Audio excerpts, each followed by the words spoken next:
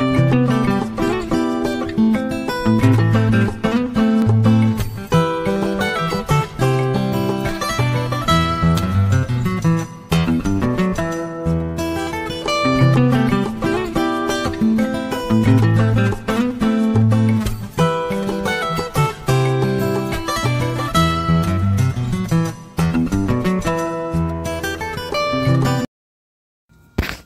Hello everyone, this is Josfeg Network TV bringing to you more accurate news from all around the world. Please kindly subscribe to our channel if you're yet to do so, and if you have done so, we say thank you. Now to the news. IPOB Nnamdi Kanu tender fresh request before U.S. Department of State. Nnamdi Kanu, the indigenous people of Biafra, IPOB, the leader has tendered a request before the U.S. Department of State. What do you think? Do you think um, is on the right course? Do you think he's on the right track? And um, why do you really think he is doing that? Why do you think um, he's not in the country? You know, to really do all those things, but he's is send, sending messages from outside the country to Nigeria or from outside the country to all other nations. Do you think he's doing the right thing? Because the leader of the indigenous people of Biafra, his name is Nnamdi Kanu, has called on the United States, the Department of State, and international community to rise up and stop the killings of Christians, which Pre President um, Trump himself has come out to really condemn. You know, he sent a strong uh, word to the to Nigerian populace and to the Nigerian leaders about it. You know, and um, Nnamdi Kanu is doing the same thing right now. You know, is really, you know, just to buttress what is really going on in the country. He sent a fresh request to the Department of State in America concerning this particular case.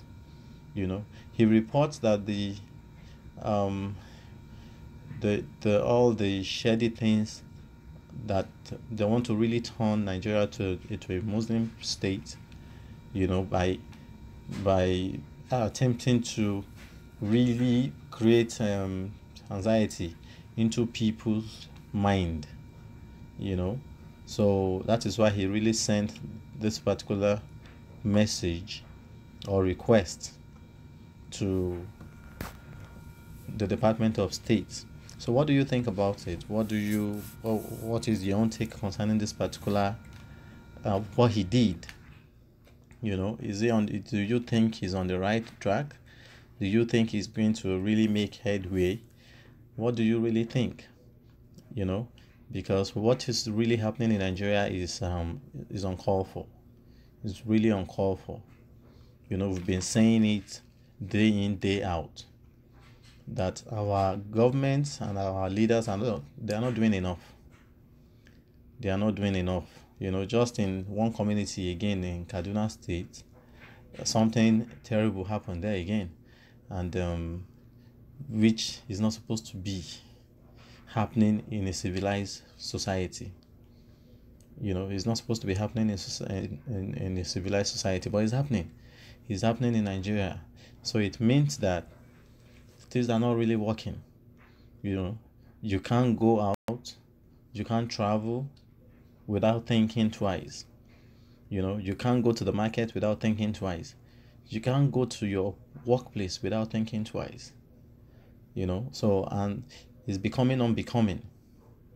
Is becoming unbecoming in a country that has that has a leader, in a country that has governors, in a country that has ministers, senators, you know, in a country that has um, military manpower and everything, police, that all these things are is still happening, you know, and um, they, they are not able to do anything concerning it you know and this is not the first time it this has been going on for forever I remember in, in Kaduna State, it has been going on forever 1960, 1970, 1980, 1990. It has been going on. It's just that this one now is becoming unbecoming because it's just getting too much. It's just getting too much. And um, I think we should really thank Nnamdi Kanu, you know, for his job uh, well done that he's doing. I think now he's really more interested in the well-being of Nigerians than what he's that is than, than his first um intentions you know. Now he's really really doing the work that God called him to do. That is what I think about him you know you know being the voice for the voiceless being a voice for, for the voiceless you know because i don't really expect him to even say something concerning all these people who is, is mentioning you know. He mentioned leah you know. He mentioned a lot of things. The school girls you know the 110 school girls he mentioned them you know he mentioned all the atrocities all the things ha- happening in, in Nigeria. You know, so I think I commend him for doing this because now I think he's realizing that he needs to really be a voice, you know, for the voiceless. You know, I really commend him. I commend his strength. I commend his courage, you know, for really coming out to to to say all these things he's saying.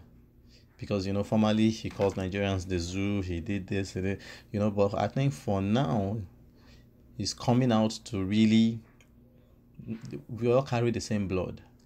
All our the blood in our vein is is red. Every, everybody's blood is red. So it means that we, we are forced for for a human you know? So now he's coming out to be a voice for the voiceless which i will tell you the fact i am happy he's doing this not right now. I'm happy he's doing this right now. Even though he's not in nigeria to really to really you know come out to make a protest or something like that at least he's using all the medium he knows to ch- channel uh, his um his opinion. You understand? To really say, look, this, this are wrong, that is wrong, this is right, this is not right. You know, I really commend him seriously. I really commend him because seriously, Nigeria is just I don't know what will become of Nigeria in the next five years. I'm telling you, if something is not done and done quickly, I don't know. The, the leaders, they really need to call themselves together and do something about it. And all these issues is coming from the northern part. You know, all these things we are talking about is coming from the northern part. You know, they keep drawing us back. They keep drawing us back all the time, all the time, all the time. And any society, any country, you know, any community that lives in fear cannot survive. They can't even develop, not to talk of surviving. You know, because you'll be afraid to even develop your community. You know, so it is high time the leaders really sit down together, come up with a solution, you know, so that everybody will be at peace again. You know, we really need to be at peace. So that is my own take concerning this particular news. I think he's doing a great job. I think he's doing marvelous things. You know, becoming a voice to the fatherless, to the motherless, to the voiceless, you know, to the poor. So I think he's doing a great thing. You know, he has to really pay, you know, a, a great deal of um of of of um of things. You know, he, his parents died, he couldn't even come, he couldn't attend the parents' burial, which is very, very, very, very sad. But, I mean, he's fighting a cause just, and I think those are some of the things you go through when you're fighting a, a cost just um cause a, a just cause so wherever he is we pray for him we wish him well and we wish nigeria well so i believe he's doing well and i believe for him to really come out to, to become a voice to all these people. I commend him. I, I don't know about you. What do you feel? You know, let's hear your comments. Your comment is important to us about this particular news. And please, once again, don't forget to subscribe to our channel if you're yet to do so. And if you have done so, we say thank you. Bye.